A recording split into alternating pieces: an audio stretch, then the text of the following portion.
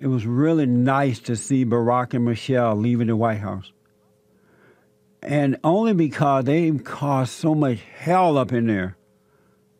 It's just been, it's just, to me, being a human being, it, it's just, it's amazing that you can have all physical power in your hand, the power of the United States of America behind you.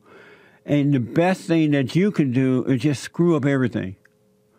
I'm going to take this power and I'm going to destroy America.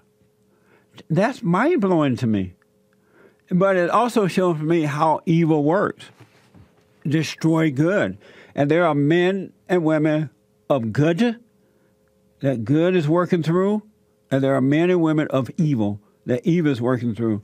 Barack Obama had the greatest opportunity that any black man can have with the authority, physical authority of America in your hand.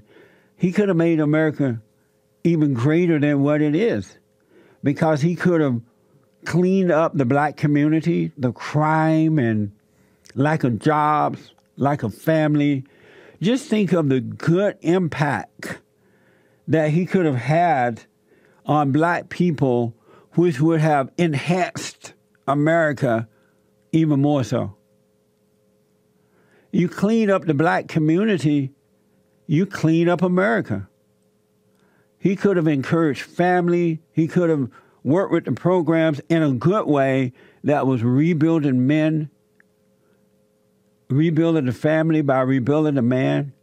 He could have brought back jobs and secure jobs, private businesses in the inner cities by cleaning up the the uh, gang violence and drugs and all that mess that's going on.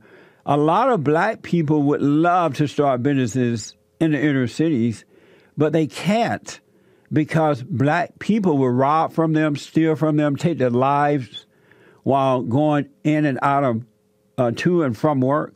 So a lot of black, especially young, educated black people, they want to start businesses. The best you can do is a hairdresser, become a hairdresser or something. Barber, barber, a barber.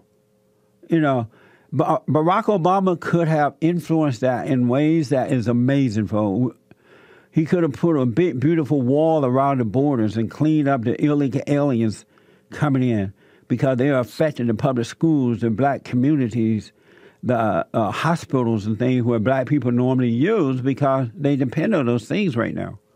He he did none of those things. None. So why wouldn't I be happy to see him leave? It's not personal. I don't hate Barack or, or, or Michelle, uh, but I absolutely disagree with what they've done to this country.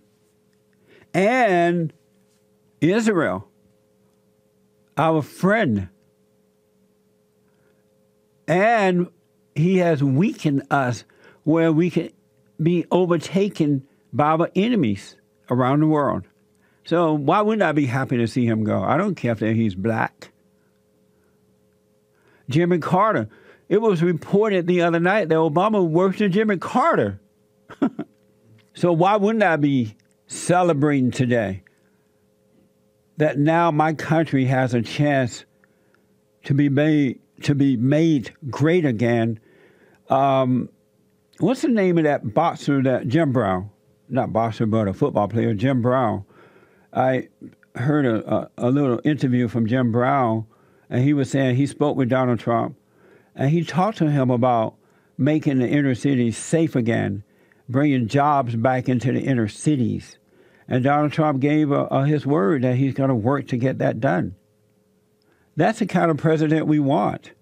We don't want a president that allow a segment of the culture of this country to just go to hell in a handbasket. President Bush didn't do anything about that. Bill Clinton, I think Bill Clinton did a, I don't know, he didn't do much. He, yeah, he did a little bit more about that than even President Bush. Because under President Clinton, he passed laws that uh, got a whole lot of black people arrested for drugs and stuff. And, and that's why they're mad at Clinton, Hillary. We need somebody that care about the country and is not afraid and is not afraid to go in there and clean it up. Let them call you racist and all that mess. The children of the lie. So God bless America. We got another chance. This is an historic day. It will live forever.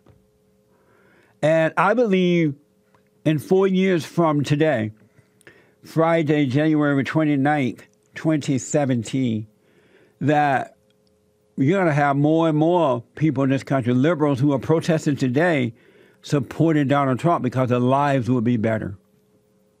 In a physical way, at least.